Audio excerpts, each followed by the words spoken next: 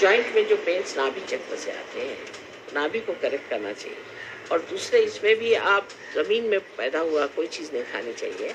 और kerosene oil को vibrate करके मैं दे जाऊँगी, उसको किसी भी तेल में मिला करके उससे लगाइए। और थोड़ा एक्सरसाइज हमेशा करते रहना चाहिए, उससे नहीं होगा।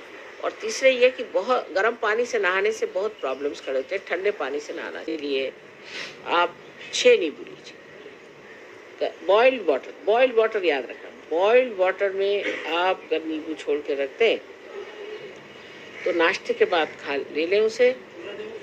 ना ना दो नींबू निचोड़ निचोड़ के। निचोड़ के। और उसको आप नाश्ते के बाद दीजिए फिर खाने के बाद दीजिए और फिर रात के खाने के बाद। पहले नाश्ता करते वक्त करके रख दीजिए ठंडा हो जाएगा।